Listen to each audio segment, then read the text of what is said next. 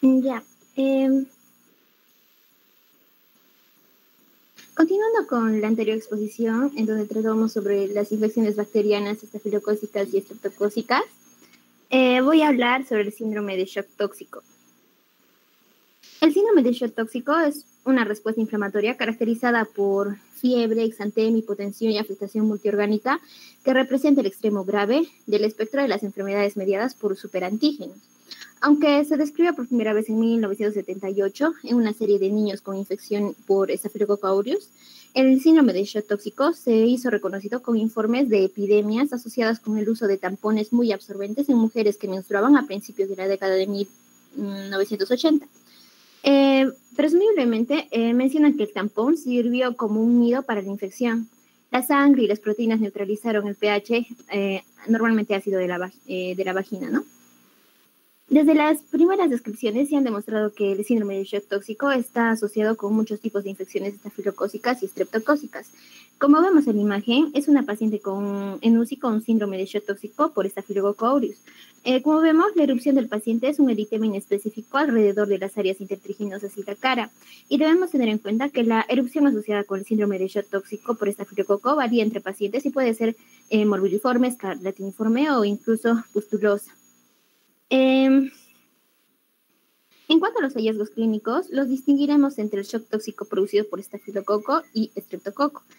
Eh, iniciando con el shock tóxico estafilocócico, eh, la toxina estafilocócica más común asociada con este síndrome viene a ser la, S, la TSST1, y esta es la toxina incluso que se asocia más con los casos de menstruación. La TSST1 parece ser eh, único entre los superantígenos porque tiene una capacidad para cruzar las superficies mucosas. El síndrome de shock tóxico no menstrual se asocia con heridas postquirúrgicas, sinusitis, osteomielitis, influenza, uso de drogas intravenosas, heridas por quemaduras e infecciones ginecológicas, especialmente en el periodo postparto. También se pueden encontrar otras toxinas estafilocócicas, incluidas la enterotoxina B estafilocócica, conocida como SEC, y la enterotoxina C, como el SEC. Las toxinas superantígenas SEC SEB y SEC eh, comprenden aproximadamente el 50% de los shock tóxicos no menstruales. La respuesta del huésped es un factor importante en el desarrollo del síndrome de shock tóxico, ya que los estudios han demostrado que, una mayor susceptibilidad, que hay una mayor susceptibilidad en pacientes que no tienen anticuerpos neutralizantes contra este es, eh, TSS1, ¿no? Los síntomas del, síndrome de shock tóxico van a comenzar con un inicio agudo de fiebre, dolor de garganta y mialgias. La diarrea también va a ser común y también puede ocurrir vómitos. Eh, va a haber erupción y esta suele ser un eritema macular, pero a veces se puede observar un tipo escarlatiniforme. La erupción generalmente comienza en el tronco y se extiende a las extremidades y puede afectar palmas y plantas. Especialmente si el paciente está hipotenso, la erupción tiende a ser más prominente en el tronco y en las extremidades, que en las extremidades, ¿no? La, los síntomas de hipotensión incluyen mareos ortostáticos, desmayos y shock. La hiperemia conjuntival no purulenta, la inflamación faringe y la lengua enfresa también están presentes. También pueden aparecer signos de disminución de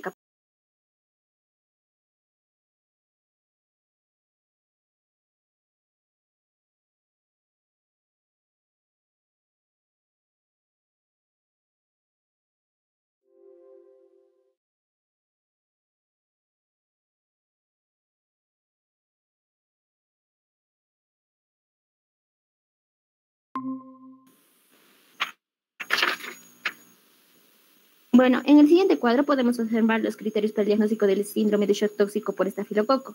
Aquí vemos, por, aquí vemos, por ejemplo, eh, criterios que hay que tomar en cuenta. Por ejemplo, eh, tenemos que tomar eh, los cuatro, deben cumplirse cuatro de estos criterios principales, por ejemplo, la fiebre, erupción, descamación, hipotensión. También vemos una participación multisistémica, en, en los cuales se debe cumplir tres o más. Y para referirnos a un probable síndrome de shock tóxico, eh, eh, se, debe cumplir los criterios de laboratorio y deben estar presentes cuatro o cinco criterios clínicos descritos en, en este cuadrito. Y para confirmar este síndrome de shock tóxico, se debe cumplir también los criterios de, de laboratorio y deben estar presentes cinco eh, criterios clínicos descritos también en el cuadro, ¿no? En cuanto al síndrome de shock tóxico por estreptococo, esta viene a ser una enfermedad similar al síndrome de shock tóxico por estafilococo, pero está causada por el estreptococo invasivo del grupo A, el piógenes, ¿no? La mayoría de los casos del estreptococo, de shock tóxico estreptocócico son causados por exotoxinas A, pirógena estreptocócica, conocido como el SPA, y otras toxinas superantígenas. Eh, también se han informado sobre la exotoxina B pirógena estreptocócica, que también es conocida como el SPEP, y la toxina C pirógena estreptocócica como el SPEC, y la participación de otros estreptococos que no pertenecen también a este grupo. El síndrome de shock tóxico estreptocócico puede ser el resultado de casi cualquier tipo de infección que es producida por, el, por este estreptococo del grupo A. Los tipos más comunes de infección parecen ser heridas y el síndrome de shock tóxico estreptocócico se ha descrito bien como una complicación de la varicela y la influenza A. La presentación inicial es, viene a ser un dolor cutáneo que a menudo se localiza en una extremidad. El dolor localizado a menudo, a menudo va a progresar durante varios días, eritema, y edema localizado. Y esto también va a progresar una celulitis asociada con fascitis necrotizante y miocitis con invasión de eh, estreptococos concomitante del torrente sanguíneo. Eh, también cabe señalar que los eh, hemocultivos son positivos en más de la mitad de los pacientes con eh, síndrome de shock tóxico estreptocócico en comparación con, eh, con el síndrome de estafilococo, porque en aquí solo se presenta en un 10%. Por lo tanto, un paciente con signos de eh, síndrome de shock tóxico y celulitis localizada debe sugerirnos una infección por estreptococo, ¿no? Ya que las infecciones de tejidos blandos no suelen aparecer en, el síndrome por estafilococo. En cuanto al diagnóstico diferencial del síndrome de shock tóxico estafilocócico, incluye la exclusión de shock séptico, síndromes exfoliativos, estafilocócicos, una fiebre maculosa de las montañas rocosas, un shock hemorrágico, sarampión, leptospirosis y síndrome de Steve, Johnson. En cuanto al tratamiento y pronóstico, el tratamiento del shock tóxico es de apoyo y generalmente en cuidados intensivos, así como también se tiene que tratar de er-, erradicar el estafilococo aureus causante de esta, esta patología, ¿no? Eh, históricamente se han utilizado grandes dosis de antibióticos antiestafilocócicos resistentes a la beta-lactamasa, como la nafcicilina, debido a que se sabe que estos agentes aumentan lo que viene a ser el TSS1 in vitro, eh, probablemente porque hay un, por el, eh, por el resultado de análisis celular, se usa concomitantemente con clindamicina o linesolida. Ambos van a inhibir la producción de toxinas proteicas bacterianas. Dado que hay mayores cantidades de, estafilococos resistentes a, la meticilina en la comunidad, a menudo se recomienda también lo que es la vancomicina.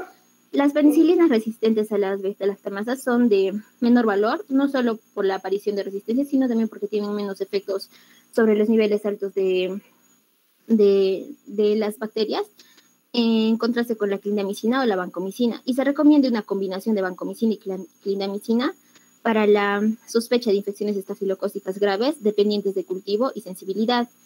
Eh, la inmunoglobulina intravenosa se, se, dice que actúa en parte em, neutralizando los anticuerpos contra las toxinas y esa inmunoglobulina se ha utilizado y parece tener una buena respuesta.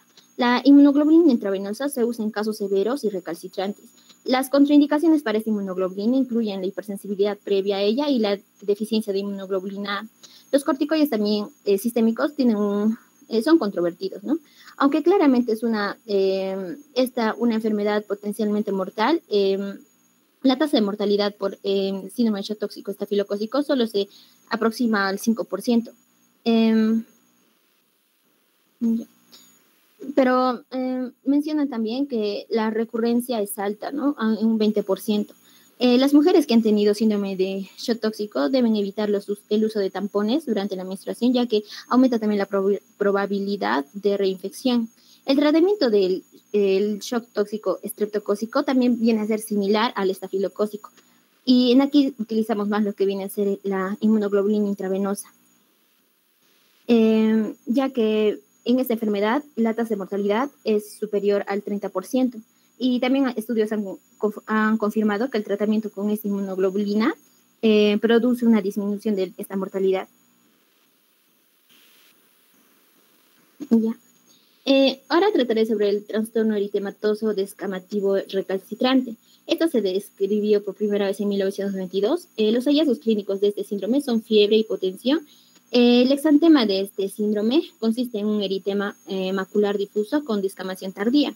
Otros hallazgos en común eh, con el síndrome de shock tóxico incluyen lo que es la infección, eh, inyección mucosa oral y ocular y la lengua en fresa. Se han aislado también estafilococos productores del TSS1, el CA y el CEP de varios lugares, incluidos los senos nasales, tejidos eh, blandos y la sangre. Los pacientes mayormente tienen SIDA, pero también se han informado en pacientes que con esa enfermedad que no tienen SIDA. A diferencia del shock tóxico, esta es una enfermedad prolongada y el diagnóstico se establece a menudo mediante un examen cuidadoso de colonización e infección oculta en un individuo susceptible. Eh, en cuanto a la escarlatina, recordamos que esta se encuentra dentro del grupo de la, afectación sistémica, ¿no?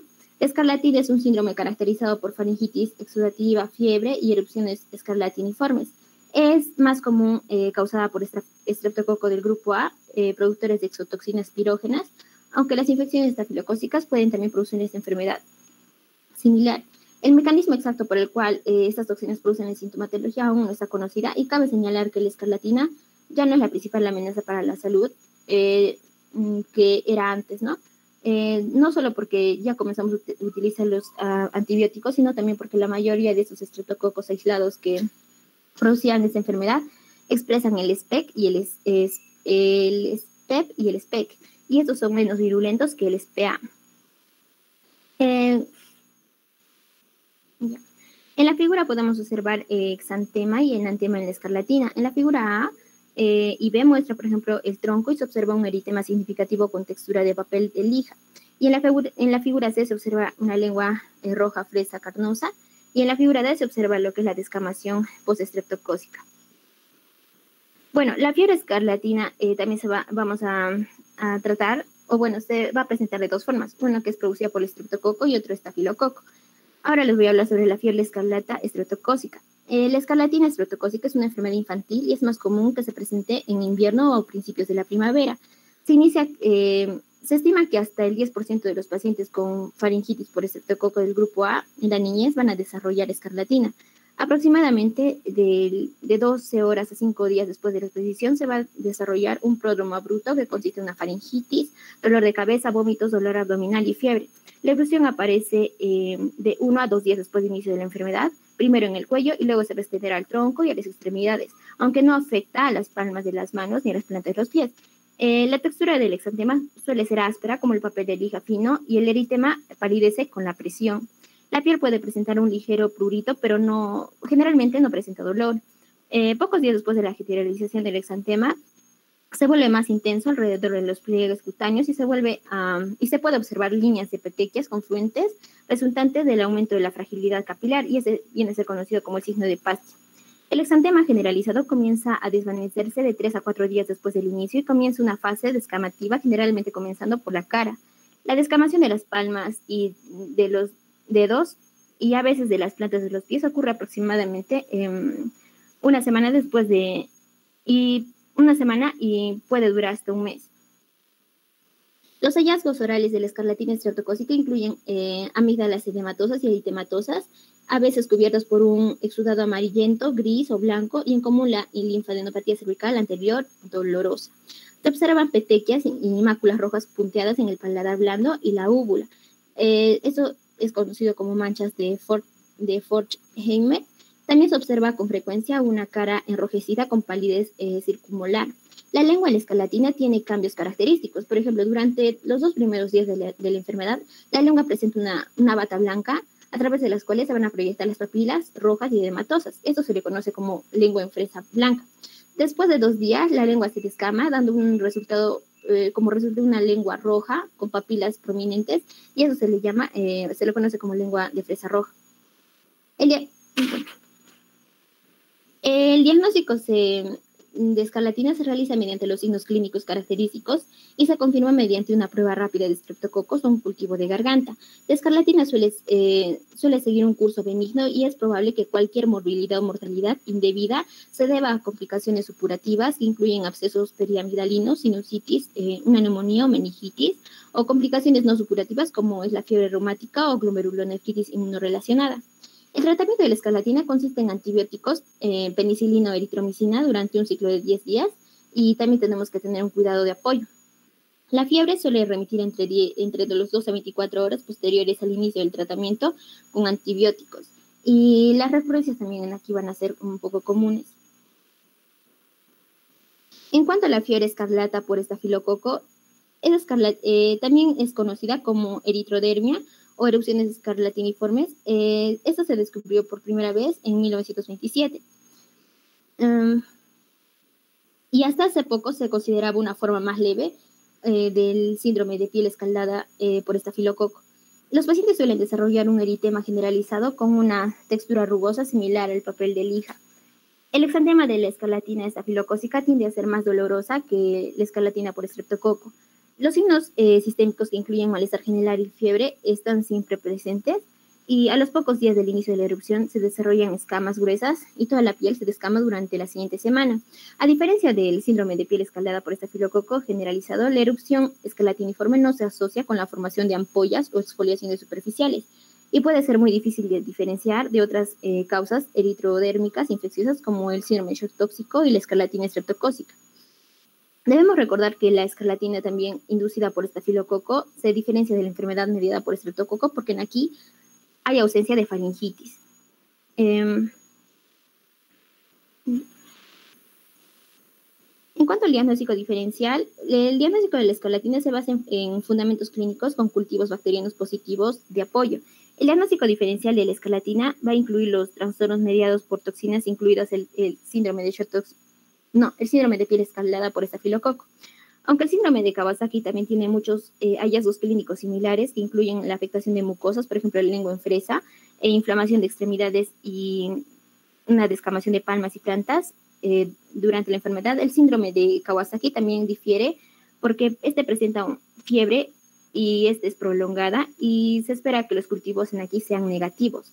La escarlatina del estreptococo del grupo A suele diferenciarse de la inducida por aureus, ya que el nido habitual de la infección de la escarlatina por estreptococo se debe a una faringitis, mientras que la variante, por ejemplo, del estafilococo se debe mayormente a un proceso o un nido en un infeccioso, pero que se encuentra en la piel. En el tratamiento y pronóstico, el tratamiento de la escarlatina incluye antibióticos para erradicar las bacterias eh, dañinas, ¿no? si, el, nido localizado de infección es un absceso forúnculo, eh, este absceso tiene que drenarse. Y la fiebre reumática aguda o la glomerulonefritis eh, no se asocia con lo que viene a ser la escalatina por estafilococo, más bien se asociaba a lo que era el estreptococo, ¿no? Y ahí por último, eh, les voy a hablar sobre el eritema mediado por toxinas, también conocido como el eritema, eritema perineal mediado por toxinas recurrentes. Eso fue descubierto en 1996 por Manders este eritema eh, se caracteriza por un, eh, porque presenta un eritema perineal macular difuso llamativo que ocurre dentro de las 24 a 48 horas después eh, posteriores a una faringitis por un estreptococo del grupo A, productor de toxinas, o también se puede producir por un estafilococo aureus. Em, los hallazgos clínicos vienen a ser similares a una escarlatina y es, este se caracteriza porque va a haber ausencia de fiebre, hipotensión y otros signos sistémicos pero la, aquí eh, la diarrea viene a ser una característica común.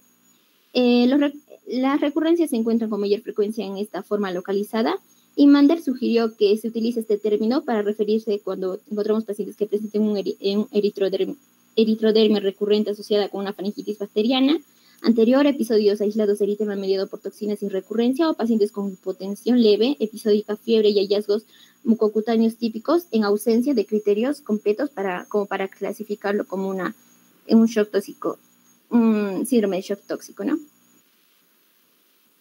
Ya, y eso sería todo.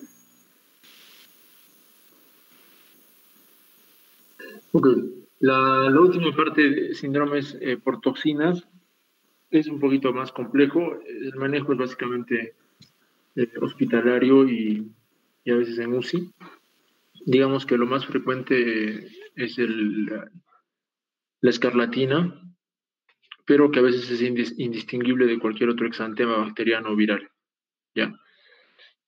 Considerando que son reacciones sistémicas de una infección, eh, esta misma reacción puede ser eh, producida por cualquier otro agente bacteriano o viral.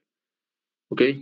Entonces, eh, también recordar que el síndrome de estafilocócico de piel escaldada es relativamente frecuente en niños. Eh, se caracteriza por lesiones periorificiales con escamación y eritema y puede haber también un compromiso sistémico, ¿no? Con malestar general, artralgias, fiebre, un síndrome de respuesta inflamatoria sistémica. secundario a las toxinas eh, del estafilococo. Es relativamente frecuente este cuadro, en niños especialmente. En estos casos ya el tratamiento eh, fundamental no es eh, la terapia antibiótica, porque no se olviden que la toxina ya está circulando por el torrente sanguíneo y la reacción ya está presente. Más, sobre todo, lo recomendable es manejo del medio interno y evitar las complicaciones que pueden originarse a veces por la propia toxina. Muy bien, entonces vamos a continuar con la presentación del virus. ¿Quiénes disponen, por favor? Doctor, por favor, este, grabe la clase.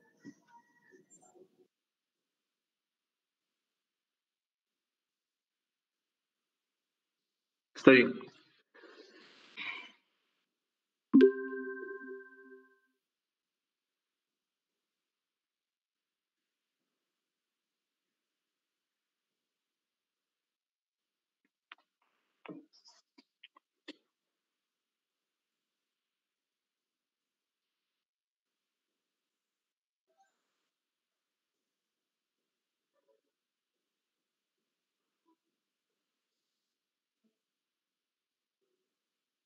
Doctor, buenas tardes. Compañeros, buenas tardes. Vamos a empezar con la exposición que hemos preparado. Es sobre infecciones virales, en este caso el papiloma humano, poxvirus y herpes humano.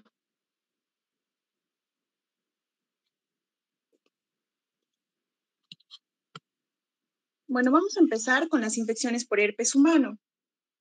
Al hablar de este virus, nosotros tenemos que saber que los herpes virus humanos pertenecen a la familia herpes viridiae.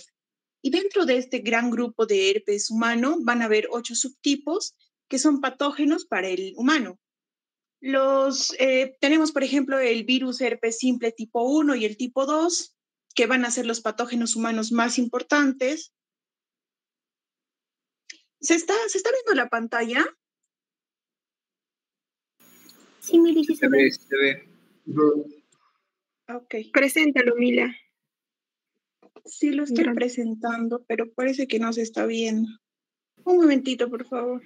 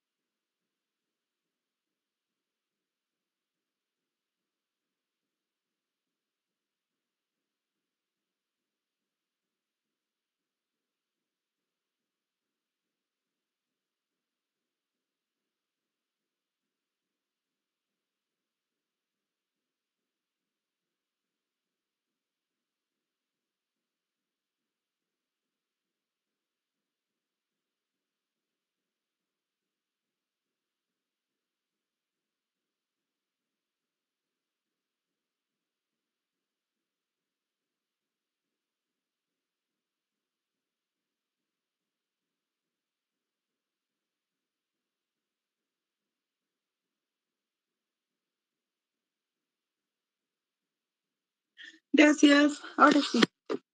Siguiente, por favor. Ya bueno, como les mencionaba, estos virus, eh, el herpes virus humano tiene ocho subtipos que son conocidos como patógenos en el humano. Eh, tenemos el virus herpes simple tipo 1 y el tipo 2. Estos son patógenos humanos, son los más importantes y los que mayor clínica nos van a producir. Tenemos también el virus de la varicela zoster, o tipo 3, el virus del Epstein-Barr, citomegalovirus, y el tipo 6, 7 y el 8, que va a estar caracterizado por el sarcoma de Kaposi. Estos virus tienen la capacidad de establecer latencia en los individuos infectados. Vamos a ver más adelante dentro de la fisiopatología cómo es que estos virus al momento de infectar en la primoinfección pueden o no producir un síntoma, pero posteriormente van a tener una fase de latencia donde van a, van a vivir ahí mucho tiempo hasta que ocurra alguna alteración en el sistema inmune y van a recurrir, ¿no? De forma clínica. Entonces, después de una infección primaria, el virus, en el caso del herpes simple, persiste en los ganglios sensitivos de por vida y recurre a disminuir la inmunidad. Cuando hablamos nosotros del virus del herpes simple, tanto tipo 1 como tipo 2, vamos a ver que las lesiones del herpes van a ser característicos a nivel, de la oro, eh, a nivel orofacial o también puede dar encefalitis, entonces vamos a hablar de lesiones bucales. Es característico del tipo 1. Y las infecciones genitales con sus lesiones es característico del tipo 2. Sin embargo, no es del todo así. Eh, vemos ahí los porcentajes, que hay un pequeño porcentaje, el 10 al 20%, donde vamos a tener lesiones labiales a nivel labial que van a ser em, generados por el tipo 2. Y de igual forma van a haber lesiones urogenitales que van a ser generados por el tipo 1. Entonces, por ejemplo, estas, estos porcentajes para ahora o más adelante van a empezar a variar porque la educación sexual está, está variando, ¿no? Entonces vamos a ver que el tipo 2 va a producir más lesiones o puede producir en una mayor proporción del 20% lesiones a nivel bucal. Igual, de forma viceversa, el tipo 1 a nivel genital, ¿no? Siguiente, por favor. Entonces, cuando nosotros hablamos del herpes simple tipo 1, este virus, la infección se va a adquirir por lo general durante la infancia. En el 30 a 60% de las personas que son expuestas a este virus, ¿no? y del 20 al 40% de la población ha tenido algún episodio de herpes labial. Y cerca del 33% de las personas que han tenido herpes labial van a sufrir recurrencias más adelante. Y de todo este grupo, la mitad tiene por lo menos dos recurrencias anuales. Entonces vamos a ver que hay personas que pueden tener recurrencias una sola vez en su vida o hay personas que van a tener recurrencias frecuentemente. Y hay evidencia de que tanto la frecuencia como la severidad de los episodios que van a recurrir disminuyen con el pasar de los años, ¿no? ¿Cómo es que se da el contagio? Por contacto directo con el virus, ya sea em, que el virus que va a estar presente en las lesiones, ¿no? Pueden ser en las secreciones de los individuos enfermos, o sea, un contacto directo con, con la vesícula del paciente a nivel oral, por ejemplo, o puede excretar el virus por medio de la saliva. Ahora, mm, tenemos que saber que el contacto puede ser de piel con piel o de piel con mucosa o de mucosa con piel, ¿no? Por ejemplo, de piel con piel hay un tipo de herpes que es de los gladiadores, de los luchadores, peleadores que tienen contacto. Ellos pueden contagiarse piel con piel, pero mayormente se ve lo que es mm, un contacto con las mucosas también. ¿Cuáles son los factores de recurrencia? Un paciente, no todos los pacientes que se han infectado con el tipo 1 van a tener recurrencia. Entonces, los factores son una irritación de piel mucosa, puede ser por rayos ultravioleta, la menstruación, fiebre, un resfriado o alteraciones inmunitarias y sitio de la infección, ¿no? Por ejemplo, se ve que el herpes genital va a recurrir con mayor frecuencia que el herpes labial y las inmunodeficiencias del hospedador, pacientes con VIH, pacientes con enfermedades crónicas, que tengan cáncer, algún tipo de linfoma o que estén en quimioterapia, van a recurrir muchas veces, frecuentemente, y además que sus lesiones en la recurrencia van a ser totalmente amplias y, diseminadas, ¿no? Que un, que un paciente inmunocompetente. La patogénesis, eh, vamos a ver que este virus cuando ingresa y se multiplica en la mucosa oral, sin que se exprese clínicamente, la mayoría de las veces en la infección no hay una clínica, ¿no? Puede haber también, se puede presentar. Luego de esto, eh, después del contacto, el virus se multiplica en las células epiteliales. Estas células infectadas pueden lisarse y van a generar vesículas o una inflamación circunscrita. Entonces, los virus, una vez que ya han infectado las células, ascienden por los terminales nerviosos sensitivos que van a inervar esa zona a la que infectan y viajan por los axones hasta las neuronas ganglionares del trigémino. Es ahí donde se van a almacenar y van a permanecer en estado de latencia. Una más, Mari, por favor, siguiente. Ahí vemos la imagen, ¿no? Como primero tenemos a una infección primaria que se va a multiplicar en el tejido bucofaringio y va a ascender por los nervios sensitivos. Entonces se almacena en el ganglio trigeminal. Posteriormente tenemos un estado latente donde el virus va a estar dentro del ganglio de por vida y una fase de reactivación del virus latente que desciende por los nervios sensitivos donde se estaba almacenando hacia el labio o la piel peribucal, entonces va a generar lo que es el herpes labial recurrente. Siguiente, por favor. Las lesiones características de los herpes, y lo vamos a ver, lo vamos a ver también en la varicela zoster, son lesiones vesiculares agrupadas, racimosas, que van a tener de base una placa eritematoide. ¿No? Puede ser sobre la piel queratinizada o sobre las mucosas. Ahora, estas vesículas son muy frágiles y tienden a romperse fácilmente. Entonces, mm, cuando se rompen, pueden generar e-, erosión en la piel. Ahí vemos las lesiones típicas, son vesículas transparentes que van a tener después una evolución a pústulas, en la imagen de arriba, por ejemplo, vemos cómo se agrupan, ¿no? Racimosamente. Y en la imagen de abajo vemos también em, cómo están en distintos estadios. Hay algunas que ya han reventado y están erosionando y se forma una costra al sanar esa erosión. Y hay otras que todavía siguen en su fase de vesícula, ¿no? Y se ve también un edema labial en el labio inferior, en el labio superior y cómo afecta la comisura labial. Siguiente, por favor. ¿Cuáles son las manifestaciones clínicas? El periodo de incubación del virus es aproximadamente de cuatro días con un rango de 2 a 12.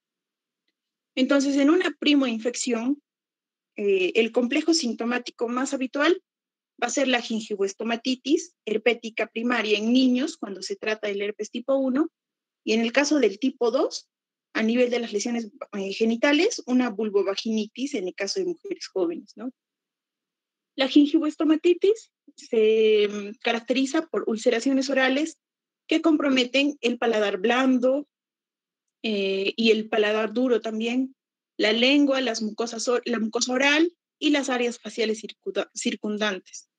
Se acompaña de, otra, de otros síntomas como la fiebre, el malestar general, las mialgias, el dolor, y puede presentar el paciente antes de tener estas lesiones los síntomas prodrómicos. Una fase prodrómica que puede tener ardor, prurito o quemazón, donde, se va, donde va a ocurrir la erupción de las vesículas posteriormente.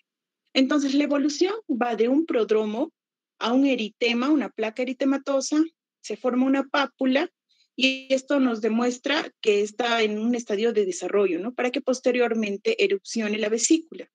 La vesícula, como les digo, es frágil, se puede romper, se puede ulcerar y esto al tratar de cicatrizar forma una costra dura posteriormente las escamas secas y un edema residual. Ahora, también pueden tener los pacientes, como infección primaria, pueden generar una faringitis.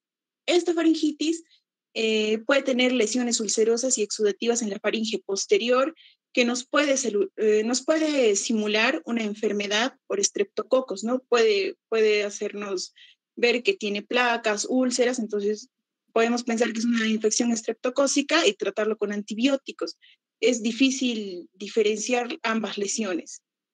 Siguiente, por favor. Ahí tenemos las fotos. En la primera foto, por ejemplo, eh, eh, hay un edema labial en el labio superior y en, en, el, en el tipo B vemos las lesiones racimosas. En el labio superior también son vesículas agrupadas, ¿no? Abajo tenemos ya lo que es cicatrizado, que está en proceso de cicatricial, y ya son costras. Y en la última foto, en la parte inferior, también las lesiones, ¿no? Que en ese caso clínico eh, mencionaba que era muy doloroso. Siguiente. Ahora, cuando hablamos del tipo 2, del virus del herpes simple tipo 2, va a ser la principal causa de herpes genital, de las lesiones genitales y también del herpes neonatal, porque la madre, si tiene un herpes genital, va a contagiar al niño, ¿no? La adquisición del tipo 2 se correlaciona definitivamente con la actividad sexual y la prevalencia a nivel mundial se acerca a un 20%. Entonces, esta prevalencia va a aumentar notablemente en las edades donde hay inicio de la actividad sexual. Y la manifestación clínica, tanto en la primoinfección como en la recurrencia, corresponde al herpes genital, ¿no? Ahí vemos las imágenes. ¿Cómo es que se da la infección? Por el contacto directo con las lesiones o con las secreciones infectadas. Entonces, la evolución de estas lesiones va a incluir primero las vesículas, pústulas y úlceras eritematosas, ¿no? En la primera imagen vemos las múltiples vesículas en el dorso del pene en la imagen del medio, las vesículas eh, a nivel de la mucosa vaginal y también lateralmente hay úlceras. Y en la tercera imagen es una infección ya recurrente en este caso del herpes simple tipo 2 y las lesiones a, a nivel del, de los glúteos, ¿no? Siguiente, por favor. Ahora, otras manifestaciones que podemos encontrar del herpes, tenemos el panadizo herpético. Esta se va a caracterizar porque la lesión es a nivel de la punta de los dedos o en el pulgar. Estas lesiones son eritematosas, son edematosas, como podemos ver ahí, pustulares y muy dolorosas porque se va a acompañar de una neuritis. Por ejemplo, ahí en la imagen de arriba es de un niño. Esta imagen es de un artículo de pediatría donde este niño de tres años presenta esas lesiones en el dedo, ¿no? Puede empeorar. Ahí vemos que las lesiones están necrosándose. Y vemos en la imagen de abajo cómo las vesículas también están distribuidas en todo el dedo. Ahora, este panadizo herpético, eh, ¿cómo es que se puede dar? Por contacto directo por eso es que se dan en los niños, en los bebitos, que se pueden chupar el dedo, puede tener contacto directo de la lesión bucal con el dedo, ¿no? O también se ha visto en trabajadores dentales que han tenido accidentalmente contacto con lesiones de sus pacientes. Y por ejemplo, este niño había presentado 10 días antes fiebre y eh, una amigdalitis, uh, aftas bucales, entonces lo trataron con antibióticos, pero al final cuando se hace el cultivo se ve que es un herpes en este caso tipo 1, ¿no? Y menciona también el artículo muy importante que cuando se hace el cultivo tenemos que saber, tenemos que tener el criterio para diferenciar si es tipo 1, obviamente ha sido un contacto con, con una lesión bucal, pero si es un tipo 2, por ejemplo, ¿cómo es que un tipo 2 puede llegar al dedo de un niño? En este caso podríamos sospechar hasta de un abuso sexual, ¿no? Entonces, veamos la importancia que va más de la clínica y del tratamiento de, los cultivos que vamos a ver más adelante. Siguiente, por favor. Otro de las manifestaciones son el eritema multiforme recurrente. Este se va a dar en personas que tienen infecciones recurrentes. Entonces, como muy a menudo eh, recurren, eh, las lesiones se forman como pápulas edematosas que vemos en su mano, ¿no? Del paciente. Y una lesión recurrente que tiene en el labio inferior. Y el eczema herpético, que también es conocido como erupción variceliforme de Kaposi, este eczema está relacionado con la dermatitis atópica. Entonces, son lesiones que se van a dar sobre una enfermedad de la piel ya. Y estas vesículas terminan convirtiéndose en erosiones excavativas. Entonces, estas lesiones, la diferencia del eczema herpético con una lesión primaria o recurrente de herpes simple es que estas lesiones no se agrupan, en forma racimosa, sino que se diseminan eh, en toda la dermatosis, ¿no? Y posteriormente pueden comprometer piel sana. Entonces va a afectar más a cara, cuello y tronco. Es más diseminado. Siguiente. ¿Cómo se hace el diagnóstico? Por el cultivo. El aislamiento del virus por cultivo celular. Se puede hacer también un PCR o eh, detectar anticuerpos contra antígenos específicos, ¿no?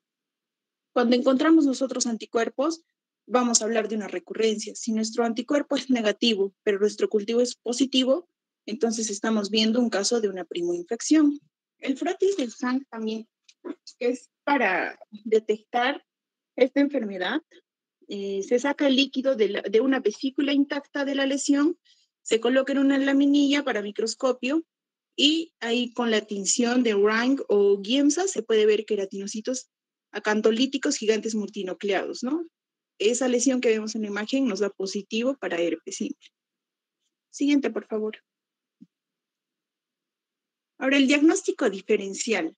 Cuando tenemos lesiones orolabiales, también podemos pensar en úlceras actosas, pero estas úlceras eh, están ubicadas solo en la mucosa y no, no tienen la, no tienen la lesión de vesícula, la forma de vesícula. En el caso de la sífilis, también podemos pensar en sífilis, pero no va a haber dolor en la sífilis. Y ahí tenemos otros, ¿no? El eritema multiforme, el síndrome de Steven Jones. Y en el caso de que sean lesiones genitales, también podemos tener como diagnóstico diferencial al chancroide, la sífilis, pero la sífilis no tiene vesículas y tampoco presenta dolor. y el granuloma inguinal, ¿no? Siguiente. ¿Cuál va a ser el tratamiento? El tratamiento tiene tres pilares importantes. Primero es la prevención, o sea, evitar que los pacientes se contagien, evitar que hayan más personas que tengan este, este virus, ¿no? Que se contagien por este virus, con la prevención y la información, más que todo en los adolescentes que están empezando su actividad sexual. Después tenemos el tratamiento antiviral tópico a nivel directa de la lesión en forma de crema y el tratamiento antiviral, tanto por vía oral o endovenosa. Y esto va a variar, depende del cuadro del paciente, ¿no? Ahora, el tratamiento, como vemos ahí está indicado, eh, siempre se basa en aciclovir, por vía oral o eh, intravenosa. Se puede usar el balaciclovir porque es un profármaco que tiene buena biodisponibilidad y muchas veces algunos usan, prefieren usar el balaciclovir eh, porque se da en menores veces al día, ¿no? Por ejemplo, ahí vemos en el primer episodio, se da dos veces al día o se puede dar tres veces al día, a comparación del aciclovir, que lo puedes dar hasta cinco veces al día, depende de su dosis. Si, si es de 200 miligramos, le das cinco veces al día, ¿no? ¿Y por qué, no, por qué tienes que tener cuidado con el aciclovir? Porque su uso prolongado conduce a la aparición de cepas virales resistentes. Y cuando pasa esto, cuando hacen resistencia a la, aciclovir, ya se cambia a otro fármaco, ¿no? Que es el foscarnet. Entonces, es importante también saber que ningún tratamiento tiene efecto sobre la infección latente. La infección latente está ahí de por vida. Lo único que va a hacer el tratamiento, el tratamiento profiláctico, tanto con aciclovir o balaciclovir, es limitar las reacciones y recurrencias, pero no las bloquea de manera definitiva, entonces solamente las va a limitar. Ahora, ¿se trata a todos los pacientes? No necesariamente. En el primer episodio, en una primoinfección, se usa, ahí tenemos la dosis de aciclovir, 400 miligramos, el tratamiento va de una semana a 10 días y el fanciclovir, ¿no? En los episodios recurrentes, UpToDate, por ejemplo, menciona que a los pacientes que tienen una recurrencia mm, muy limitada, con las lesiones limitadas, pequeñas, y que no han tenido una fase prodrómica tan extensa, con todos los síntomas, no es necesario tratarlos y solamente le pueden dar algunos fármacos como la lidocaína eh, para el dolor.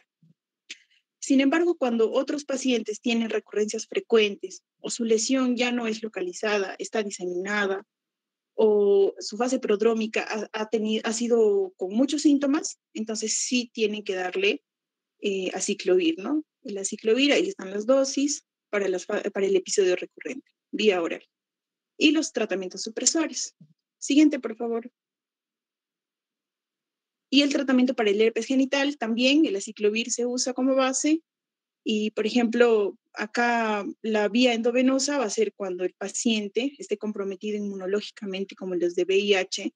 Sus lesiones van a ser sistémicas, van a cicatrizar difícilmente.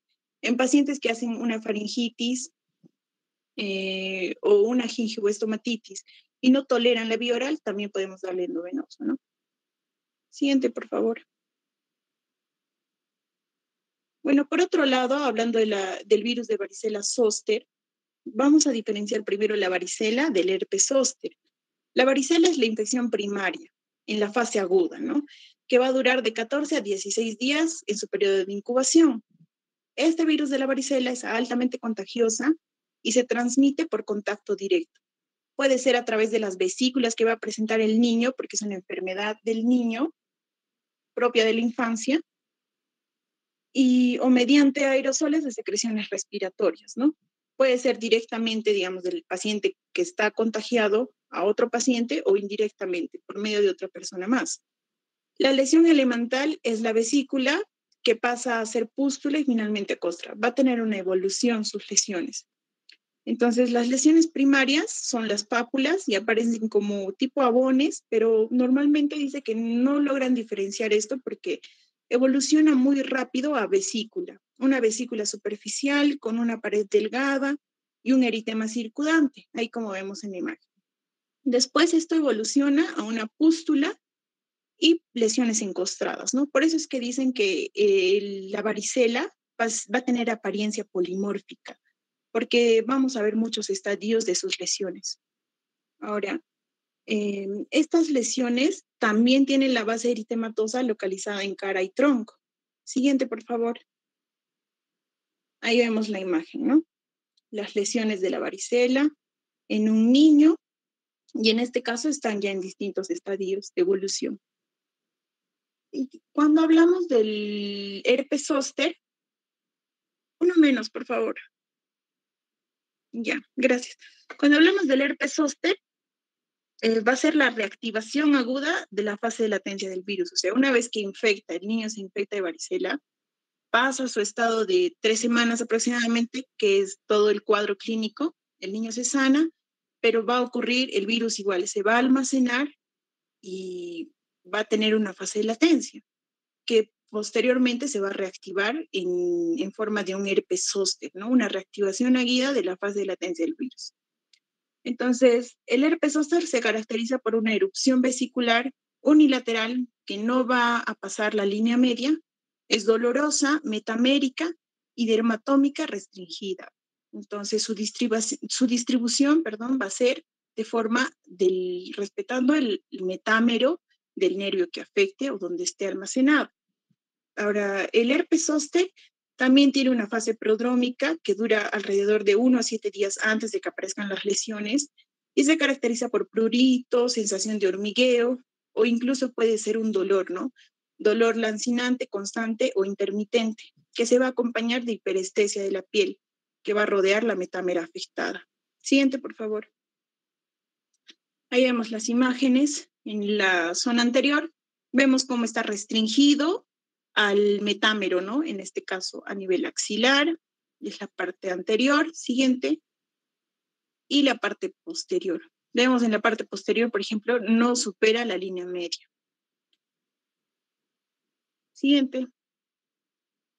Ahora, ¿cuál es la fisiopatología de este virus? Como les mencionaba, una vez del cuadro de la varicela como la primoinfección, el virus permanece latente en las neuronas de los ganglios de las raíces dorsales o los ganglios autónomos y los nervios craneales. Entonces, ante un estado mm, de alteración inmunológica, el virus que estaba inactivo en las fibras, por las fibras nerviosas, asciende y se va a expresar a nivel de la piel. Se convierte en ampolla, posteriormente puede, puede dar vesículas como la varicela, y las ampollas se van a llenar de pus, podemos ver pústulas, se secan, se costran y finalmente desaparecen, ¿no? Ese es el periodo evolutivo del herpes zóster a nivel de la piel. Siguiente. Ahí vemos las imágenes. La primera imagen es de la varicela. La varicela puede dar, eh, puede cicatrizar de forma excavada en la cara, ¿no? Después de toda su evolución. Y las otras imágenes, por ejemplo, la figura 10 es un herpes zóster. Ahí están las vesículas agrupadas también y su placa eritematoide característico del herpes. Abajo también es una imagen ya extensa, una lesión más extensa. Y, por ejemplo, acá, en la imagen, en la figura 2, dice herpes zóster en primera rama del trigémino, ¿no? Vemos cuál es la distribución del nervio trigémino y en este caso ha afectado a la primera rama, ¿no? Y ahí va a ser donde se va, en esa distribución del nervio es donde se va a dar las lesiones. Siguiente. ¿Cuáles son las complicaciones? Cuando, cuando recurre en forma de un herpes zóster, puede tener complicaciones a nivel del sistema nervioso.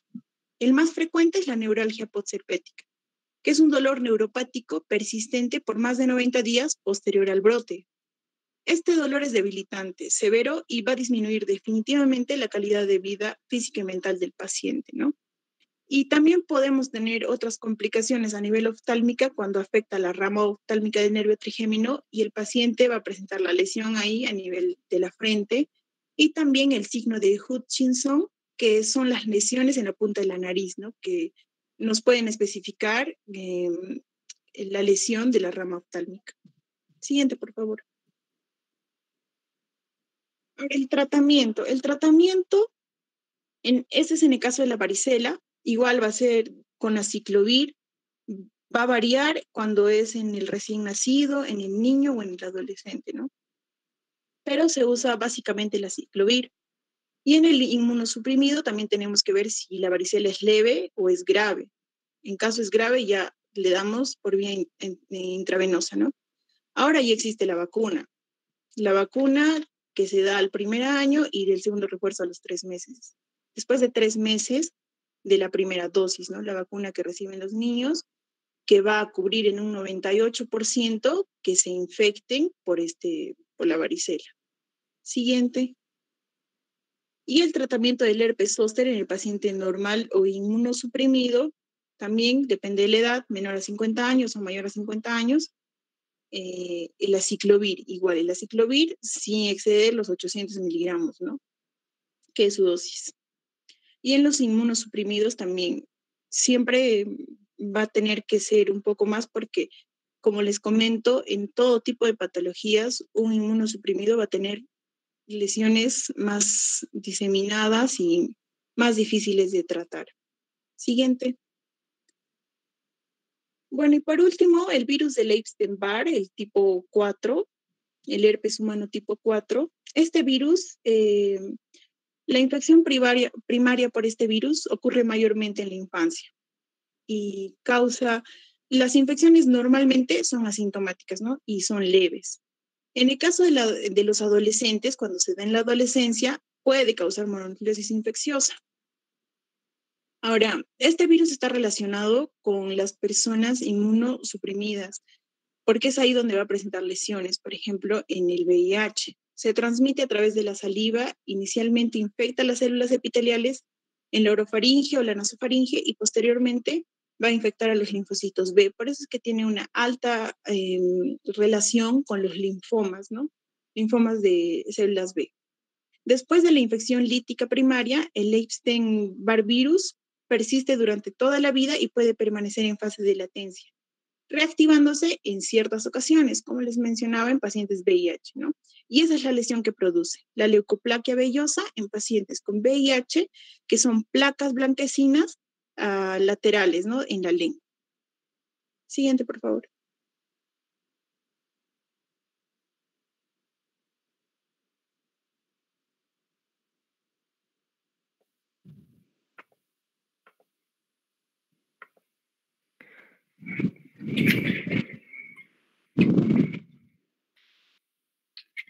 Ya, eh, continuando con la exposición, hemos hablado sobre el herpes, vamos a continuar con el papiloma humano.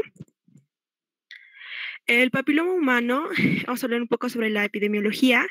Esto lo saqué de un artículo de Revisión de México del año pasado, donde nos refiere que el virus del papiloma humano es uno de los agentes causantes de enfermedades de transmisión sexual más comunes en Estados Unidos y en el mundo.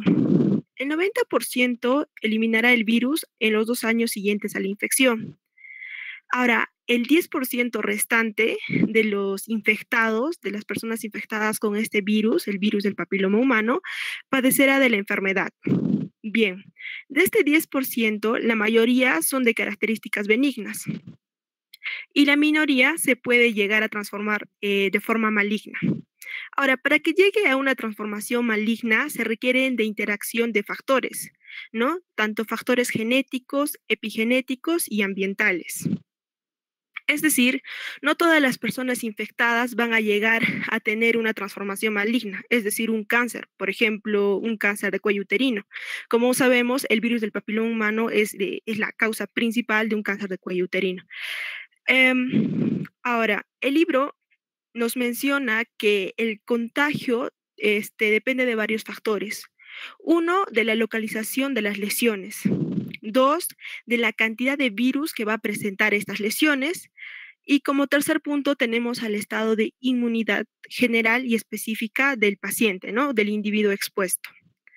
Ahora, las verrugas extragenitales eh, son muy frecuentes en niños y adultos jóvenes. Eh, va a disminuir la frecuencia de verrugas con la edad. Es decir, que vamos a generar una resistencia con el paso del tiempo. Es por ello que también nos refiere que estas verrugas son, tan, son más frecuentes en niños y adultos jóvenes y no tanto en personas de mayor edad.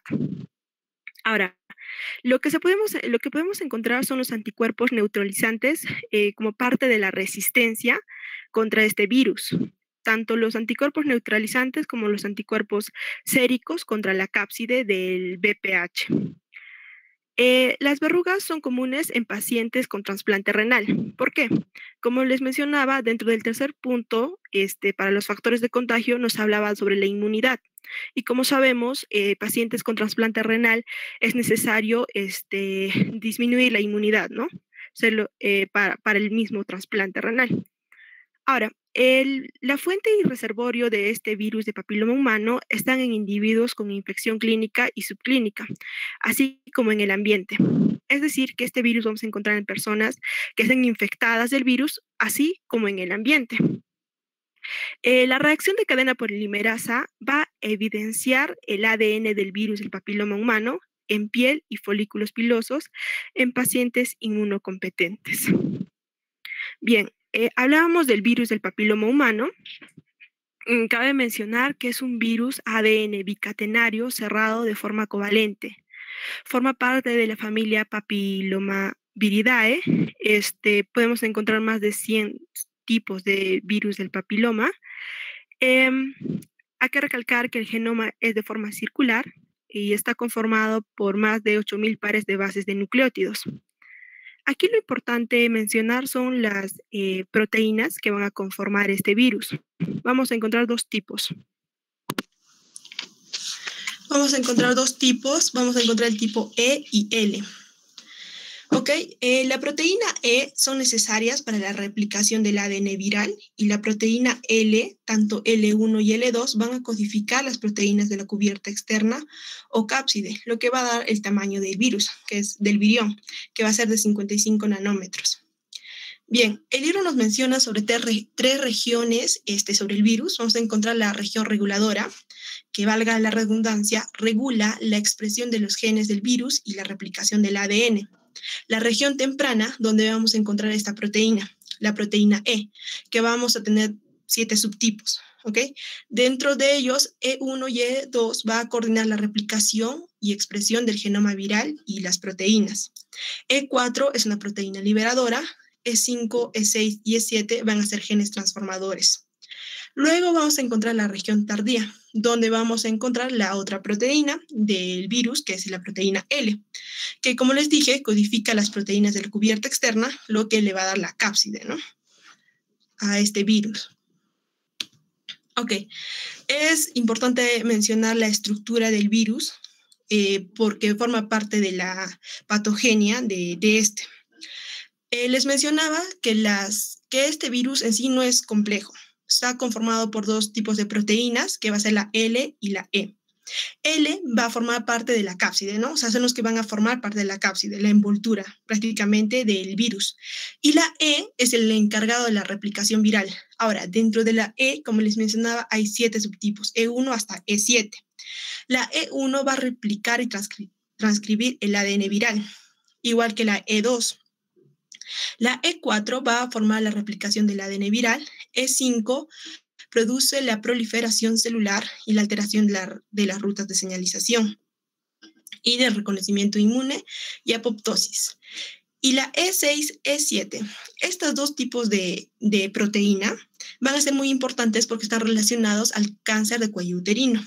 ¿Debido a qué? Debido a que degrada el gen P53 y el gen PRB, que son genes supresores de tumores. Es decir, eh, son estos genes quienes inhiben o destruyen este, las células eh, dañadas o alteradas, ¿no? Y de esta forma eh, evitan este, la generación de un cáncer. Entonces son estas proteínas las que degradan estos genes, entonces se van a proliferar de la manera que quieran. Ahora, la clasificación filogenética del virus del papiloma humano tenemos el alfa y beta. Dentro del género alfa vamos a encontrar el tipo cutáneo y el tipo mucoso. Estos números que observamos aquí, el 1, 2, 3, 4, este, hace referencia al tipo de virus de papiloma humano. Es decir, el cutáneo va a estar formado por virus de papiloma humano tipo 1, tipo 2, tipo 3 y tipo 4 el virus de papiloma humano eh, mucoso, que hace referencia al, sobre todo al genital, está formado por el tipo 6, 11, 16 y 18. Ahora, el 6 y 11, esta forma, eh, nos menciona que son tipos de bajo riesgo. Y el tipo 16 y 18 están asociados al cáncer de cuello uterino, es decir, de un alto riesgo.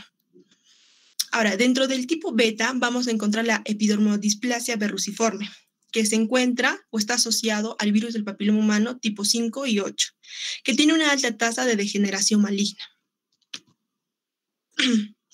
Ahora, las asociaciones clínicas de los tipos de papiloma virus vamos a encontrar eh, según a los subtipos. Vamos a ver que el subtipo 1 va a estar asociado a verrugas plantares, palmares profundas, ¿no? Con lesiones menos frecuentes como las verrugas comunes.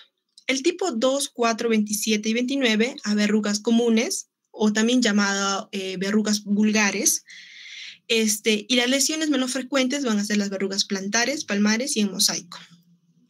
Los tipos 3, 10, 28 y 49 está asociado a verrugas planas, el tipo 7 a verrugas de carnicero, que vamos a ver eh, posteriormente en imágenes, el 13, 32 a hiperplasia epitelial oral focal, el subtipo 5, 8, 9, 12, 14 y 15 a la epidermodisplasia verrucosa y a las verrugas en, en inmunosupresión.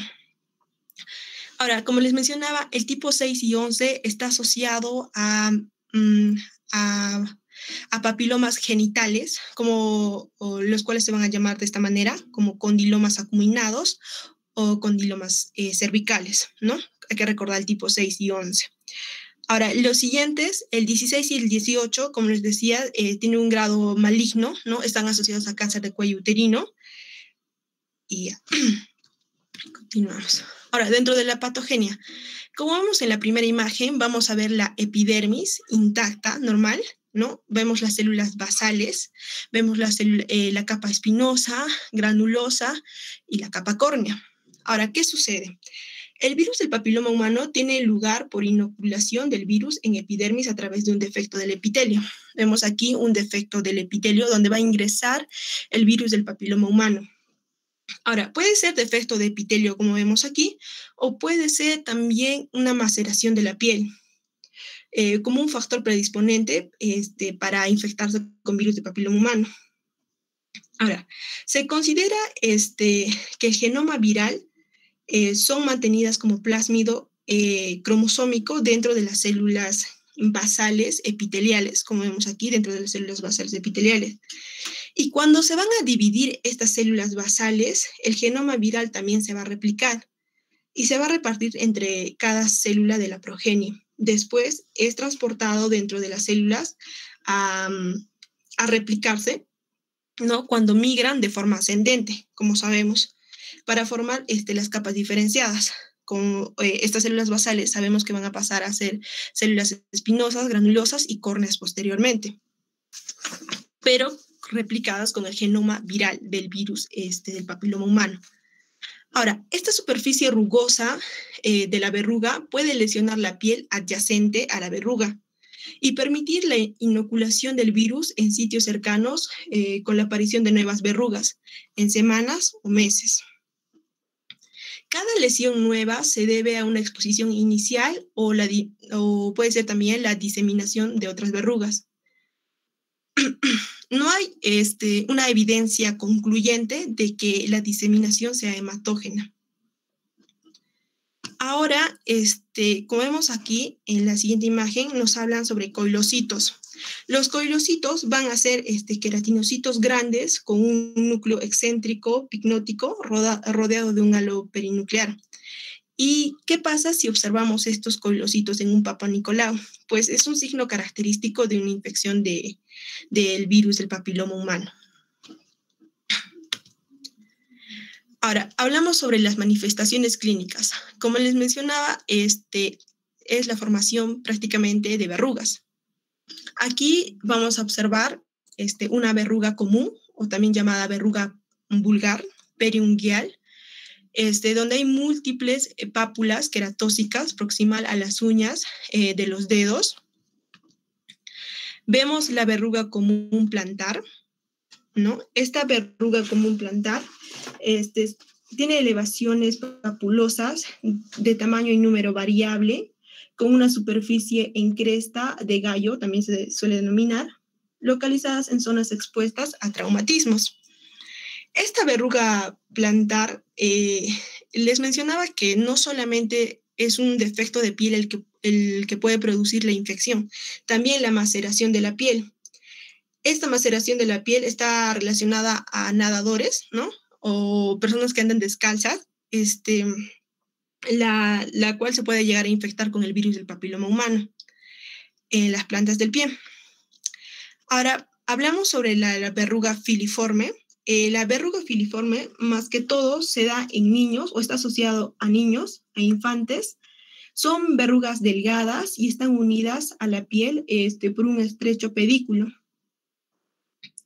Esta, estas verrugas filiformes, como vemos aquí, este, suelen localizarse en párpados y se da, como les dije, en estados infantiles. Aquí eh, vemos unas verrugas, este, verrugas planas rosadas en la cara de una niña. Las verrugas planas son, como dice su nombre, eh, lesiones aplanadas, muy discretamente eh, queratos, queratóxicas y suelen ser este, múltiples, como vemos en el rostro de la niña y, y localizarse más que todo en el rostro. Muy frecuente en niños y adolescentes. Y una característica es que estas verrugas son resistentes, mm, bueno, suelen ser resistentes al tratamiento. Aquí vemos eh, verrugas, mm, esta es una del carnicero, como les mencionaba, que está asociada al virus del papiloma, si recuerdan, tipo 7. Este, son pápulas verrucosas múltiples, eh, pueden aparecer en la región dorsal, al mar y periungual de las manos, cortadores de carnes. O sea, está asociada más que todo a la exposición que tienen estas personas, ¿no? De, estar expuestos al virus del papiloma humano. Entonces les aparece, con, o sea, por el mismo hecho del oficio de cortar carne, este, les aparece más que todo en el dorso y la palma de la mano. Eh, posteriormente, aquí vemos eh, verrugas escamosas y córneas. Eh, aquí se está encontrado el virus del papiloma tipo 2 y 3. Ya, el segundo tipo que hablábamos era sobre la epidermodisplasia verruciforme. Esta, eh, como podemos ver, tiene aspecto de verrugas, eh, no como las otras, ¿no? Son mm, planas, tiene un color eh, rojo marrón. Este, una característica principal de la epidermodisplasia verruciforme es que no desaparece a pesar de un tratamiento adecuado. Son bien resistentes. puede haber metástasis regionales a distancia y tiene un riesgo a transformación maligna, ¿no? Como les decía, eh, esta epidermodisplasia verruciforme está asociada al tipo 5 y 8. Mm, ya. Les hablaba primero cutáneas, las que ya les mencioné, la verruciforme y ahora sobre las mucosa. Mucosa o infecciones extracutáneas. Eh, en un artículo que encontré, los dividía en dos, en infecciones no genitales y genitales. Dentro de las infecciones no, genitales, este, hablaba sobre los papilomas y carcinomas conjuntivales. Eh, les voy a mostrar una imagen por acá. Este, acá vemos un papiloma eh, conjuntival y aquí una papilomatosis respiratoria, encontrada también en la este, laringe. Ahora, el otro subtipo son las infecciones genitales, ¿no? Las que están más asociadas cuando hablamos sobre este, el tipo mucoso. Dentro de las infecciones genitales se encontró más de 40 genotipos del virus del papiloma humano. Este, tienen un alto riesgo por su potencial oncogénico. Ya, encontramos sobre todo tres subtipos. Los condilomas acuminados, ¿no? Los condilomas acuminados son verrugas anogenitales, este, son pápulas o nódulos epidérmicos localizados en el periné, genitales, pliegues inguinales y ano. Varían de tamaño y y tienen formas este, grandes. Eh, tienen, eh, tienen una forma de masa exofítica, eh, se puede decir hasta como una coliflor, sobre todo en el medio húmedo del periné. Ok, la primera imagen que vemos aquí es este, un varón, ¿no? Con una verruga en frenillo, este, en el surco balano prepucial y el glande. Okay. Eh, la segunda imagen que vemos acá, la imagen inferior, es una mujer claramente, donde se va a encontrar este, estas verrugas en labios mayores, el periné, en la vagina, eh, la imagen en la uretra y este, hasta se puede encontrar en cuello uterino, claramente. Ahora, dentro de las infecciones genitales también nos habla sobre la papulosis bovenoide, que es más frecuente en mujeres con edad promedio de más o menos 31 años. Eh, es una pápula eh, de células atípicas. La siguiente es la eritroplasia de Queirot.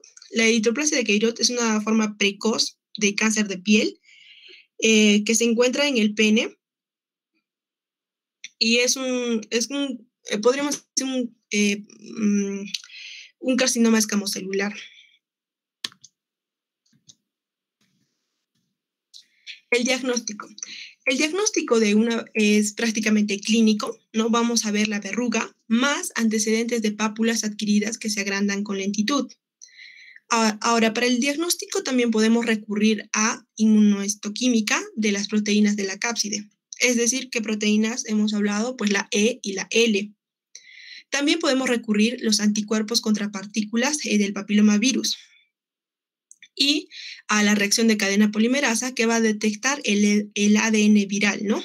Tanto cutáneo o de tipo eh, verruciforme.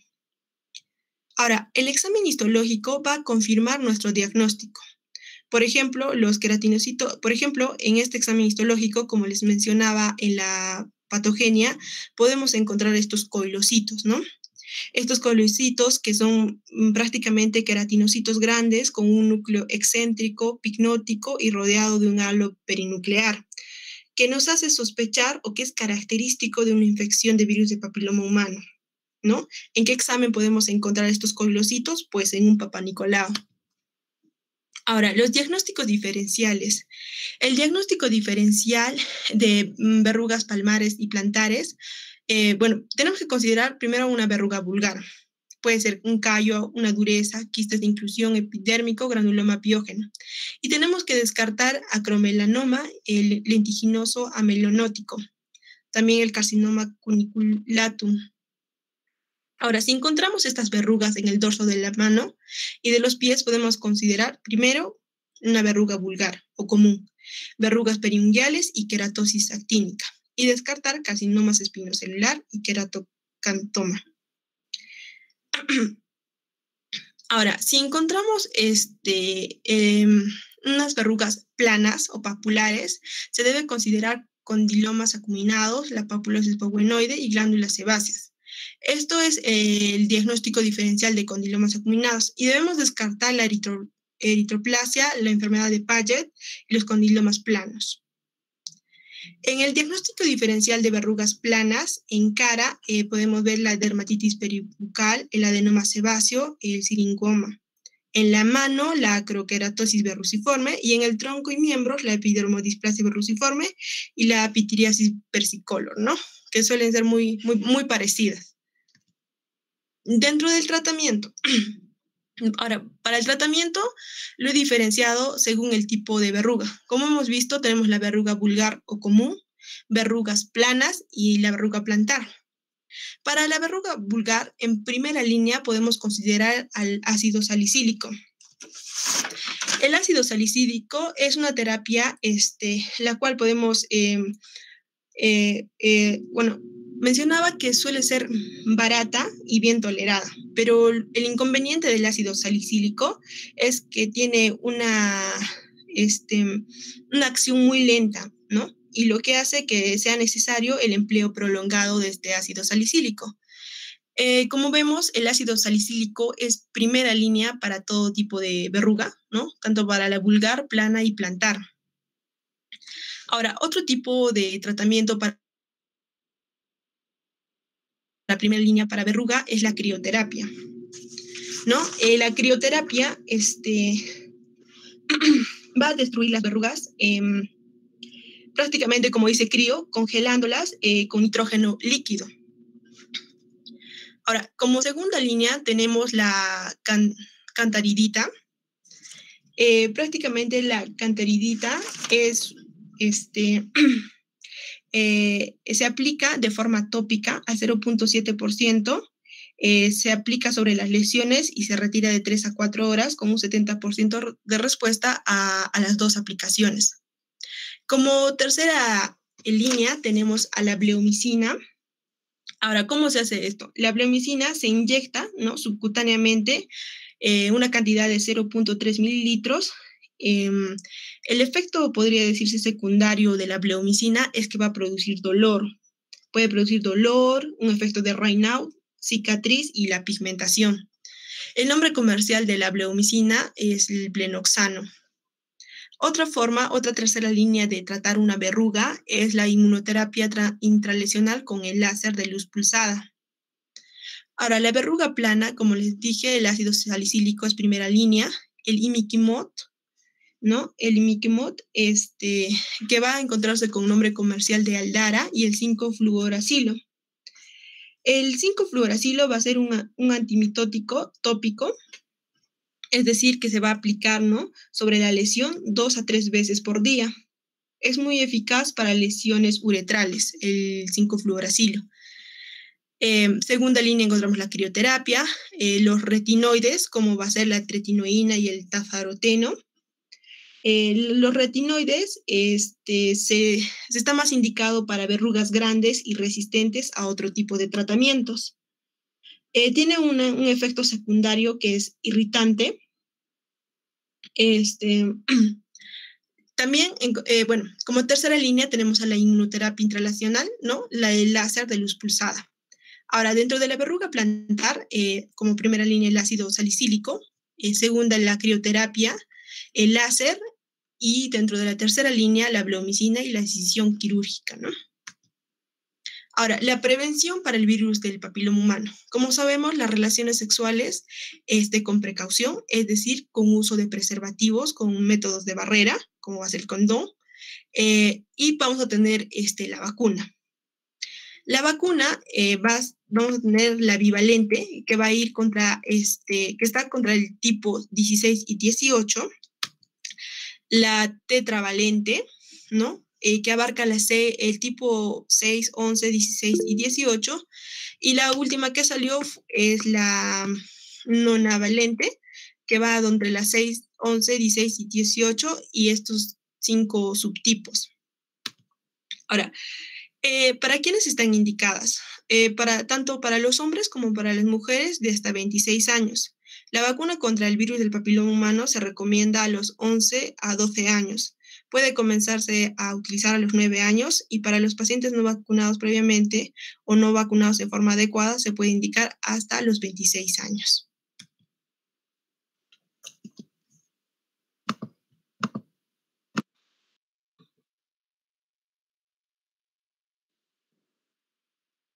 Bueno, siguiendo con la exposición, ahora vamos a hablar de lo que son las infecciones por poxvirus. Bueno, básicamente lo que son la familia de los poxvirus comprende lo que es un grupo diverso de los virus epiteliotrópicos, ¿no? O sea, que van a tener un, un tropismo hacia lo que es la piel.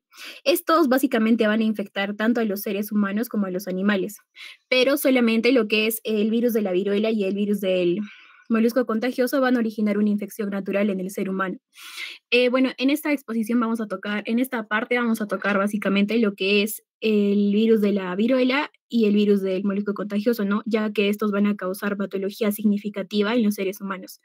Bueno, eh, algunas generalidades es que básicamente este virus es un virus ADN lineal bicatenario que se va a replicar en el citoplasma. Esto es muy importante ya que esto le va a dar esa, esa eh, va, Mediante esto va a poder codificar esos, va a evadir las respuestas inmunitarias en el hospedador. Además que va a presentar lo que es una morfología compleja, oval o en forma de ladrillo. Eh, los postvirus van a abarcar eh, los virus humanos de la viruela, que es del género ortopoxvirus, y del molusco contagioso, que es del género molus. Siguiente. Bueno, en este, en este cuadro vamos a ver los diferentes géneros de este virus. ¿No? Tenemos lo que es el ortopoxvirus, que básicamente es el virus de la viruela. Eh, este virus de la viruela es el único poxvirus cuyo reservorio exclusivo es el, es el ser humano, ¿no? Que ha posibilitado, que gracias a esto ha, ha posibilitado su erradicación. Ahora, eh, es muy importante eh, hablar de este virus ya que em, el, em, básicamente el descubrimiento de lo que es eh, de Edward Jenner de la vacunación cambió la historia de esta enfermedad, ¿no? Ya que en la actualidad esta enfermedad se puede prevenir y en lo que es el esfuerzo global intensivo de vacunación y rastreo de casos determinó su erradicación en 1980. Pero a manera de repasar un poco, vamos, eh, les voy a decir que el virus de la viruela básicamente se va a iniciar con lo que es una infección de las vías respiratorias y se va a extender principalmente por el sistema linfático, ¿no? Mediante lo que es una viremia asociada a células. Eh, dentro de lo que eran las manifestaciones clínicas, este virus presentaba lo que es, eh, hacía que fiebre alta, presentaba también lo que son mialgias que preceden a este enantema orofaringio y el exantema centrífugo. ¿no? Eh, también se veía que había una progresión simultánea de estas lesiones cutáneas de máculas a papulovesículas, pústulas y costras que provocaban cicatrices significativas. Eh, y fue, bueno, como les dije, en 1980 se erradicó, y, pero en 1978 se comunicó el último caso que aún preocupaba lo que es el uso en bioterrorismo. Siguiente.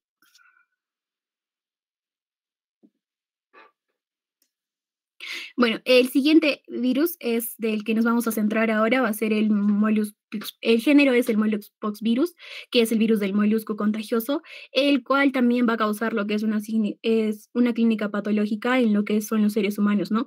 Y lo que es el, los... Vamos a hablar posteriormente de este. Siguiente. Bueno, el virus del molusco contagioso básicamente es, un, es una virosis de la epidermis que va a desaparecer de manera espontánea. Dentro de lo que son algunas características de este virus, es una infección viral benigna, crónica y localizada que se va a observar en la mayoría de veces en niños y en personas inmunosuprimidas. Eh, esta es es una patología que está caracterizada por presentar pápulas lisas abovedadas separadas. Y como lo mencioné anteriormente, el único huésped conocido van a ser los seres humanos. Y eh, si hablamos un poco de genotipos, se han identificado lo que son cuatro, pero los más frecuentes son el 1 y el 2. Siguiente. Bueno, eh, si hablamos un poco de epidemiología, eh, básicamente la infección por el virus del molusco contagioso se ha informado en todo el mundo. Eh, aunque se han encontrado lo que son estos cuatro genotipos distintos, el genotipo 1 es el que va a predominar y va a representar el 90% de los casos en los Estados Unidos. ¿no? También eh, existen datos que indicaron que los casos eh, muy leves o subclínicos pueden ser más comunes en la comunidad general. Dentro de lo que son los factores de riesgo, el molusco contagioso es una enfermedad común de la niñez. La enfermedad también se presenta en adolescentes y adultos sanos, a menudo como una enfermedad, a menudo como una enfermedad de transmisión sexual o en relación con la participación de deportes en, contacto, ¿no? Además, también eh, el molusco contagioso también se asocia en pacientes con estados inmunodeficientes, ¿no? Como por ejemplo en los pacientes con VIH y también en los pacientes que están en tratamiento con fármacos inmunosupresores. Siguiente. Eh, bueno, también aquí es importante mencionar que se ha propuesto que la dermatitis atópica viene a ser un factor de riesgo de molusco contagioso, pero los datos entran en conflicto sobre la relación entre estas enfermedades. Bueno, dentro de lo que es la etiología y patogenia, eh, básicamente este virus se va a replicar dentro del citoplasma de estas células epiteliales. Eh, estas células epiteliales, una vez que están infectadas, van a duplicar el doble de velocidad eh, al replicarse, ¿no? Entonces, estos, estos, este virus generalmente va a presentar lo que son mecanismos de evasión inmunitaria. Van a existir, va a alterar los genes para que puedan puedan evadir esta respuesta inmunitaria, ¿no? Vamos a tener eh, uno, lo que es, eh, como por ejemplo, lo que es uno, el homólogo de la cadena pesada del complejo de histocompatibilidad de tipo de clase 1, el cual va a interferir con lo que es la presentación del antígeno. Vamos a tener eh, también una alteración, si hay una alteración en el homólogo de la quiosina, que puede inhibir lo que es la inflamación. Si va a haber eh, lo que es un homólogo de la glutatión peroxidasa, puede proteger eh, al virus del daño oxidativo por las peroxidasas, ¿no?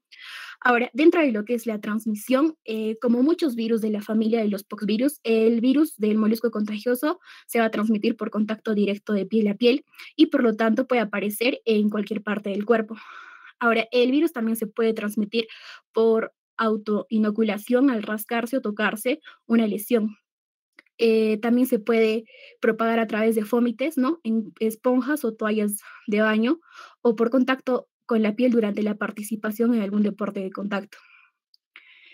Eh, también, eh, bueno, se han informado de la asociación de molusco contagioso con el uso de piscinas. siguiente. Bueno, dentro de lo que son las manifestaciones clínicas, eh, las lesiones cutáneas que va a causar el molusco cutáneo a menudo se van a manifestar porque estas van a ser pápulas sumamente pequeñas, rosadas, perladas o que pueden ser también del color de la piel, que después se van a agrandar y pueden alcanzar lo que es un tamaño de hasta 3 centímetros, ¿no? Que se le va a conocer como molusco gigante. A medida que estos se van a agrandar, la morfología abovedada o palescente se puede tornar más evidente. Ahora, estas lesiones van a presentar lo que es una depresión o umbilicación central, dentro de la cual eh, se puede observar lo que es una sustancia similar cuajada que se puede exprimir por presión. Eh, la mayoría de los pacientes va a presentar lo que son múltiples pápulas, a menudo en lo que son las regiones intertriginosas, como lo que son las axilas, los huecos popliteos, eh, e ingles, ¿no? Los niños también pueden presentar lesiones genitales y perianales que solo rara vez se van a asociar con lo que son transmisión sexual en esta población. Ahora, em, se pueden observar también lo que son eh, estos eritemas y alteraciones eczematosas alrededor de las lesiones, lo que es denominado lo que el dermatitis por dermatitis por molusco, ¿no? En lo que es la primera imagen podemos observar lo que son estas pápulas umbilicadas típicas que, como podemos ver, están bien definidas, sólidas y son del color de la piel. Eh, que es, en este caso están en lo que es el tórax de un adolescente, ¿no? también se puede ver el halo, rojo que, las, que está rodeando, que básicamente está desapareciendo de manera espontánea. Eh, bueno, en lo que es la segunda imagen se puede ver lo que son estas pápulas múltiples pequeñas de color roso, de color mm, rosa en la axila en un niño sano.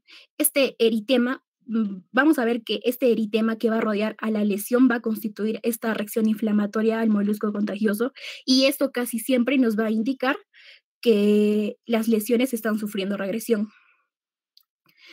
Eh, bueno, eh, también eh, estas estas lesiones pueden estar agrupadas o dispuestas en forma lineal.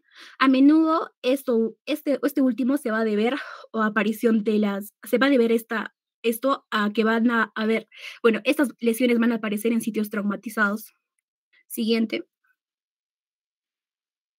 Bueno, habíamos dicho que uno de los factores de riesgo era los pacientes con inmunodeficiencias. Dentro eh, de esto, los pacientes con síndrome los pacientes con síndrome de inmunodeficiencia adquirida eh, pueden tener lesiones, pueden presentar estas lesiones más grandes y extendidas que van a comprometer localizaciones genitales y extragenitales.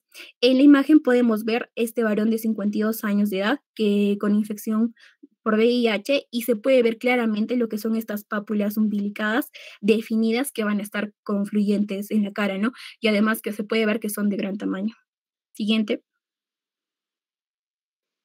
Ahora, eh, también puede existir lo que son las lesiones en el párpado, que posteriormente eh, podría ocasionar lo que es una conjuntivitis crónica. Ahora, eh, cuando ocurre básicamente en lo que es la región genital en individuos sexualmente activos, el molusco contagioso se clasifica como una enfermedad de transmisión sexual, ¿no? este suele afectar generalmente lo que es la ingle, los genitales, la parte proximal de los muslos y la parte inferior del abdomen. Siguiente. Bueno, básicamente para lo que es el diagnóstico, eh, para lo que es el diagnóstico, el molusco contagioso suele, realizarse por lo que es el aspecto característico de las lesiones, ¿no? Eh, pero el examen histológico puede confirmar este diagnóstico clínico. Eh, el examen histológico, con, con lo que es la tinción de hematoxilina y iosina de una lesión de molusco contagioso típicamente puede revelar lo que son queratinocitos que contienen cuerpos de inclusión citoplasmáticos eosinofílicos, que son muy conocidos como los cuerpos de Henderson-Patterson. ¿no? Estos, eh, eh, además, en lo que es el examen histopatológico vamos a poder encontrar lo que es esta hipertrofia, hiperplasia del epidermis y lo que son por encima de la capa basal estos cuerpos de inclusión, ¿no? Que son los cuerpos de Henderson-Patterson. Eh, básicamente, como vemos aquí en esta imagen histológica, que es una tensión con hematoxilina y iosina, la replicación del virus en el citoplasma y las células infectadas da lugar a lo que es la formación de grandes masas acidófilas intracitoplasmáticas, ¿no? Ya que este virus se va a replicar intracitoplasmáticamente, que van a ser los cuerpos de Henderson-Patterson. Siguiente. Bueno, eh, para lo que es el diagnóstico diferencial, acá es muy importante eh, ver el diagnóstico diferencial con las lesiones cutáneas debido, sobre todo en los pacientes con VIH, ¿no? Las lesiones cutáneas debido a lo que son criptococosis, histoplasmosis o infección por Penicillium marnefei pueden parecerse mucho a las lesiones por, de molusco. Las pápulas pequeñas múltiples eh, se pueden también parecer mucho a lo que son las verrugas planas, como lo hablaron anteriormente, los condilomas acuminados, siringomas, hiperplasias sebáceas. Eh, lo que es el molusco solitario grande se puede parecer a lo que es un queratoancantoma, carcinoma espinocelular, carcinoma de células basales, quiste de inclusión epidérmico. ¿No? Entonces, lo, pero lo más probable es que generalmente es, el diagnóstico diferencial principal son con las verrugas, pero también se puede considerar lo que son los granulomas piógenos, los granulomas anular papular, los quistes de inclusión epidérmico y siempre tenemos que descartar lo que son los tumores de las faneras, carcinomas vasocelulares, melanomas amelonóticos y lo que son los criptococosis, histoplasmosis, penicilosis, sobre todo en los pacientes con VIH, ¿no? Siguiente. Bueno, el pronóstico y la evaluación clínica básicamente van a variar en un paciente que está eh, inmunocompetente y uno que está inmunodeficiente, ¿no? En un hospedador sano o inmunocompetente, generalmente la, la eh, la, infección va a persistir hasta seis meses y posteriormente va a sufrir lo que es una regresión espontánea sin dejar, cicatriz, sin dejar cicatriz. Pero, ¿qué va a pasar con los pacientes con VIH o inmunodeficientes? En estos pacientes, básicamente, el molusco va a persistir y va a proliferar incluso después del tratamiento local intensivo. Ahora, eh, dentro de las complicaciones, dentro de lo que son las eh, complicaciones, perdón, dentro de lo que son las complicaciones, eh, si bien muchos pacientes van a ser asintomáticos, el prurito a veces viene a ser un problema significativo, sobre todo en aquellos con dermatitis atópica de pase. ¿no? En caso de lesiones palpebrales puede haber conjuntivitis crónica, como lo mencioné anteriormente, y lo que son la queratitis punteada. Ahora, eh, puede, puede también sobrevenir lo que es una infección bacteriana secundaria, en particular si hay escoriación de las lesiones por rascado. Siguiente. Bueno, eh, básicamente para lo que es el tratamiento, tenemos que saber eh, que un tratamiento exitoso consta de lo que es la limitación de la diseminación de la lesión a otros sitios, la reducción del riesgo de transmisión a otros, porque ya hemos visto que estos se pueden, eh, se pueden contactar de piel a piel, la resolución del prurito si es que está presente y lo que es la prevención de las cicatrices.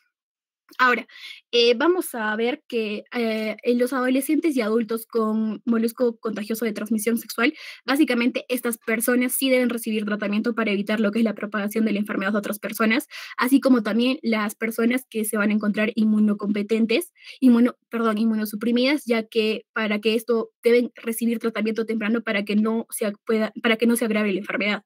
Ahora, en los niños inmunocompetentes, el tratamiento viene a ser opcional, ya que según según un estudio que se hizo, a los niños que se trataban como a los que no, eh, todos, el 50 mostraban lo que es una resolución a los 12 meses. ¿No? Ahora, en lo que son las lesiones perioculares, los métodos destructivos y los agentes tópicos que vamos a hablar a continuación no se, no se deben utilizar en lesiones que van a afectar básicamente lo que es la mucosa ocular o los párpados. Siguiente.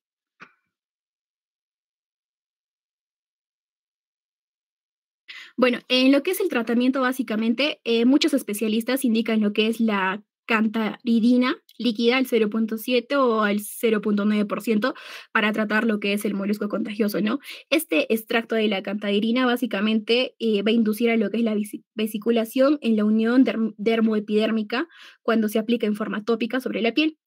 Eh, se, lo, se, debe utilizar básicamente con cuidado y debe eliminarse por, un, por lavados, ¿no? Acá vemos que básicamente se aplica directamente a las lesiones con un, con un hisopo.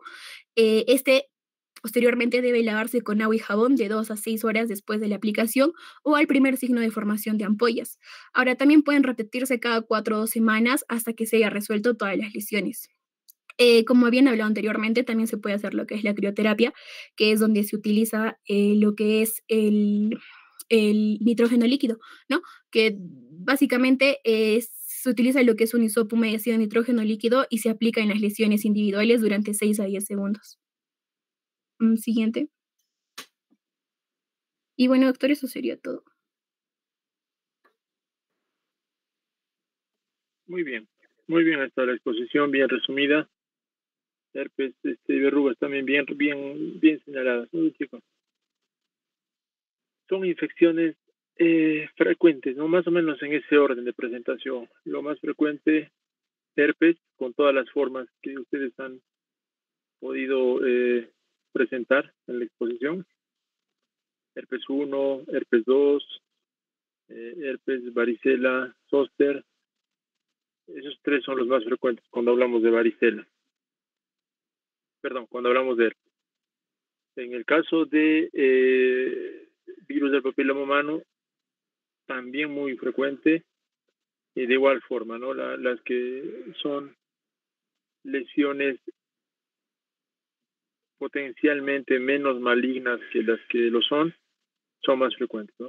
Las que son lesiones más malignas eh, corresponden a los serotipos que sus compañeros han señalado y hay que considerar ese tema también. Eh, el virus del, del, molusco contagioso es menos frecuente, pero no por ello eh, menos importante usualmente se presenta en niños y en jóvenes, ¿no?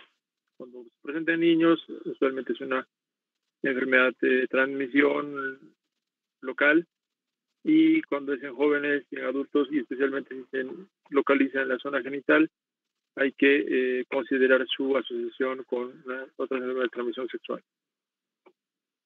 Muy bien, chicos, entonces eh, nos va a quedar pendiente la clase de infecciones micóticas superficiales. Yo pienso que hay que hacer la recuperación en esta semana, Mariluz, para estar al día en las exposiciones.